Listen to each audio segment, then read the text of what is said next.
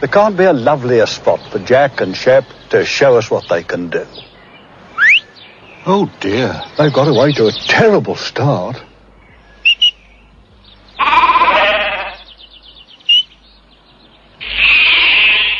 Well, I've never seen anything like it. It's a perfect score. That'll be difficult to beat. You've got a marvellous dog there, Jack. I bet he drinks Carling Black Label. No, no, Phil. Not when he's driving. Your best bet for a fuller flavour.